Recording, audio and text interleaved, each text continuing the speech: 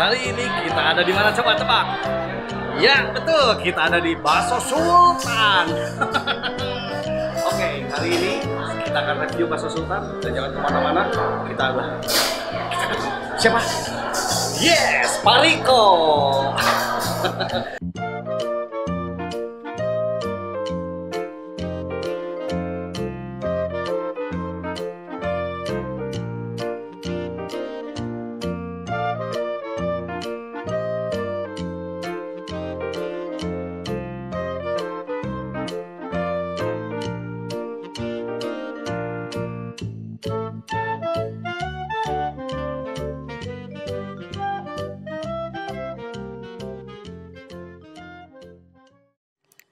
Oke sahabat Nanau, ketemu lagi di Nanau Kids Show.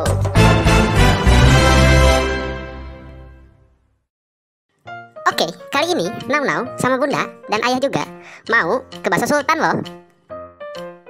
Nih adalah perjalanan dari Ranca Manyar ke Jalan Antapani loh. Oh iya teman-teman, sebelum melanjutkan videonya, jangan lupa klik subscribe sama nyalain loncengnya ya. Yuk, mari kita lihat Paman Domplang lagi wawancarai supervisor di Bakso Sultan loh. Halo guys, kali ini kita ada di mana coba tebak?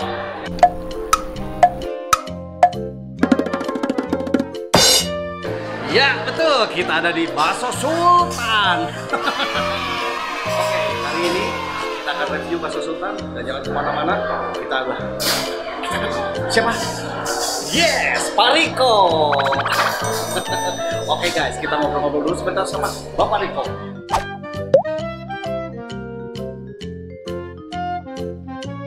Jadi kalau di sini tuh Pak eh, seperti bakso sultan, bakso itu kita ala sultan. Jadi semuanya dalam porsi yang cukup signifikan juga. Jadi agak banyak lah.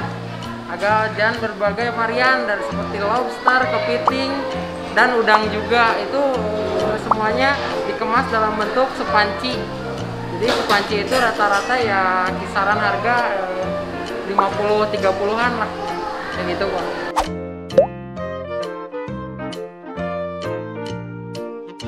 Di sini sebagai supervisornya pak. Nah, jadi eh, mengawasi lah. Yang lain-lain mengawasi semua operasional yang ada.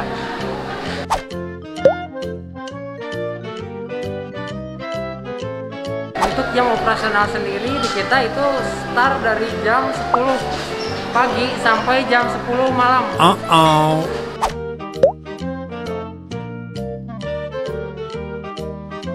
Ya, eh, untuk di Bakso Sultan sendiri itu menerapkan protokol kesehatan seperti social distancing. Dari pertama kita masuk, kita diwajibkan untuk cuci tangan dan di kita juga untuk pengecekan suhu itu berjalan dan berjaga jarak social distancing prokes. Dan untuk okupansinya pun 50% dari tamu yang berkunjung. Jadi kita sediain waiting list dan dijaga prokesnya.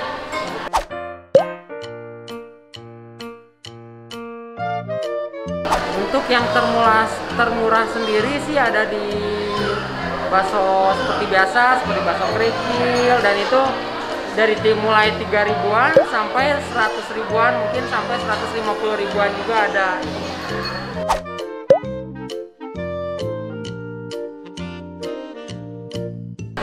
Nah untuk pengunjung sendiri itu sistem di kita tidak mengasih nomor antrian namun kita sediain langsung mejanya. Jadi setiap customer datang dan beli ke kita eh, tamu yang berkunjung itu langsung disediain nomor meja. Dan untuk meja sendiri pun itu sesuai prokes. Untuk meja kecil itu kapasitas 2 sampai 3 orang dan untuk meja besar itu hanya kapasitas 4 orang. Dan eh, terkecuali keluarga mungkin ya.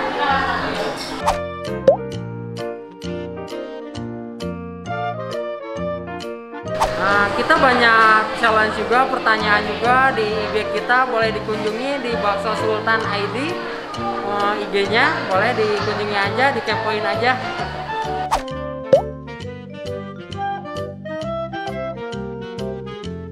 Ini untuk di cabang Bakso Sultan, pertama kita buka outlet pertama itu dia ada di Bakso Sultan Antapani, kedua di Bakso Sultan Dago dan terakhir di sini di Bakso Sultan Jalan Lombok dan kita akan buka cabang terus berkembang semuanya.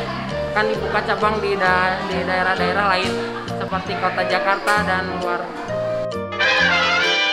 Tuh teman-teman, Tadi, Paman Domplang baru aja selesai mewawancarai salah satu supervisor di Sultan loh, namanya itu Bapak Riko. Tuh, lihat. Sekarang orang-orang lagi pada ngantri loh, soalnya baksonya enak banget. Teman-teman, kalau mau ke sana langsung aja ya. Oh ya teman-teman, kalau mau ke sini jangan lupa ya ditaati protokol kesehatannya. Pakai masker, cuci tangan, dan nanti di sana juga dicek suhu loh teman-teman.